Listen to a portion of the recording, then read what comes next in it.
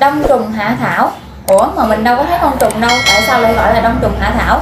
Đông trùng hạ thảo là phải nửa phần con, nửa phần cây mới đúng chứ. Như cả nhà mình biết đó, đông trùng hạ thảo được xem là một loại thảo dược tự nhiên, rất là tốt cho sức khỏe làm đẹp và sinh lý con người. Và khi mà phân loại dựa vào cái nguồn gốc thì người ta sẽ có hai loại, đó là đông trùng hạ thảo tự nhiên và đông trùng hạ thảo nhân tạo.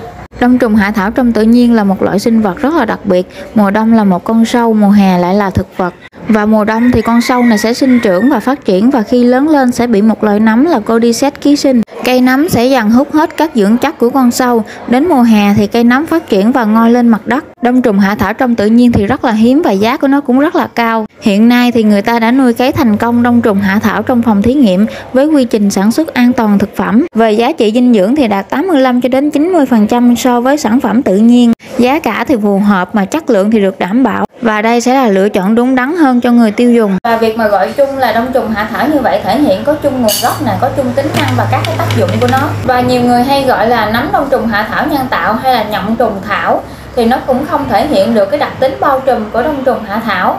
Vì vậy mà các nhà khoa học đã thống nhất với nhau gọi chung là đông trùng hạ thảo. Cả nhà mình có những thắc mắc gì về đông trùng hạ thảo có thể để lại tin nhắn cho Kiều. Và hẹn gặp lại cả nhà mình ở các video sau nhé.